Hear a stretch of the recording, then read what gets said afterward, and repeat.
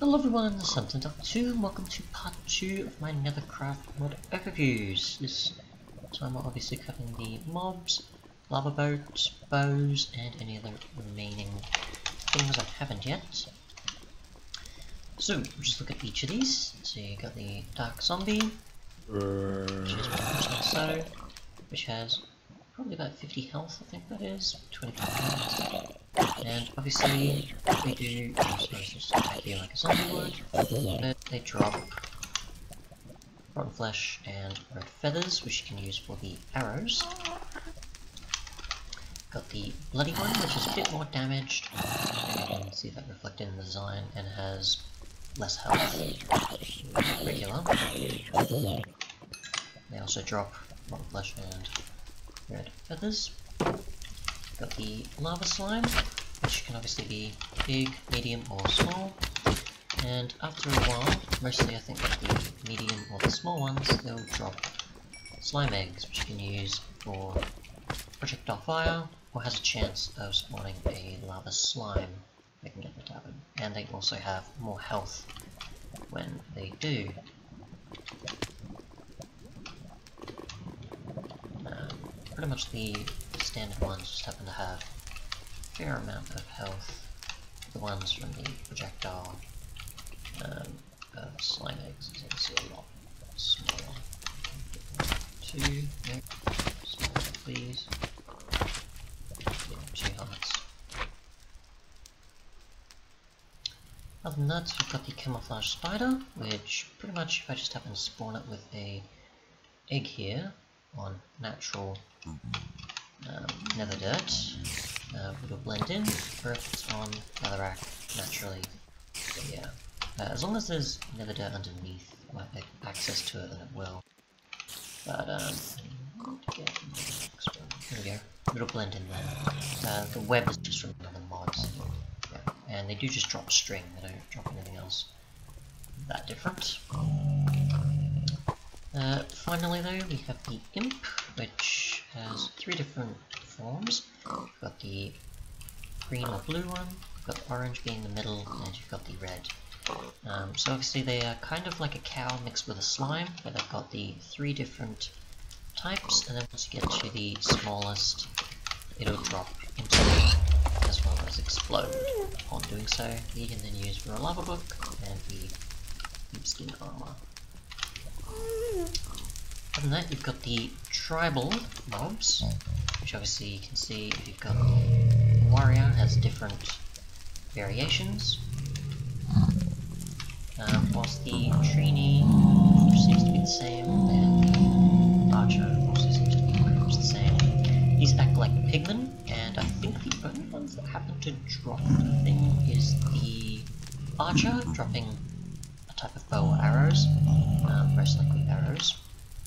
Across, and um, other than that, I think the trainee drops some glowood sticks and planks. So just clear this area. Obviously, you can tell they were trying to attack the um, spider, so they don't really just stand around and wait for the player to attack them. So, um, okay, so you can get an neridium sword, which I hadn't gotten until now. Um, Trainee should give us set of links stick, and this one should give us hopefully some arrows. Which obviously I'm going to use in looting, so it's kind of lucky getting the drops sometimes.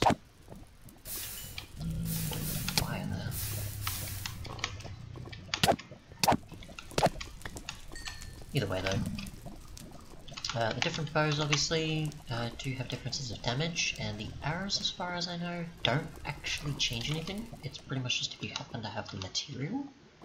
So, which I'll try and demonstrate. Uh, let's see, the Dark Zombie, for example.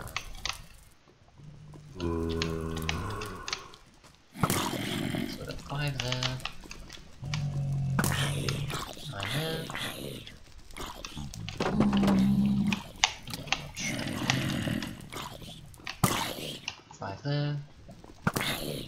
so...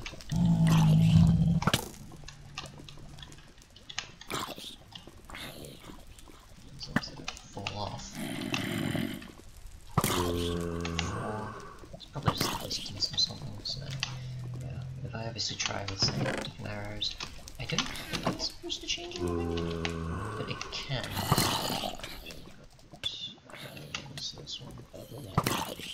Wasn't sure there for a second.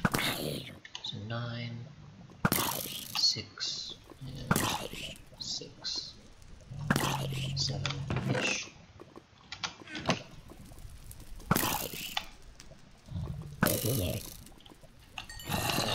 Try again, just in case it was luck.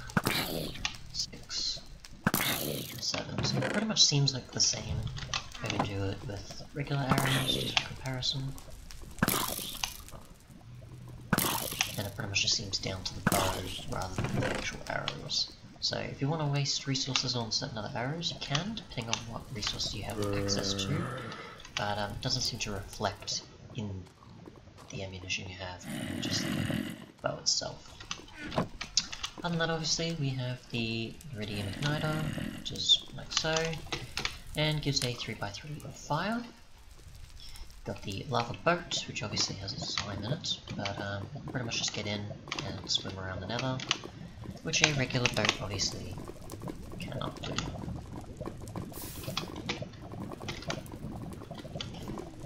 And finally we have the ghast bomb, which you can use a redstone torch or a neridium igniter on. Uh, flint still should work, obviously. Uh, I'll just stick with the mods items for now. Um, as far as I know, I've tried with obsidian and bedrock around it, and it doesn't destroy either. So, it will just break pretty much anything from a certain point of blast res radiuses. blast resistance, sorry. Um, blast radius is pretty much the same as TNT, I'm pretty sure. So, yeah. Other than that, that's pretty much it. Thanks so much for watching, and goodbye.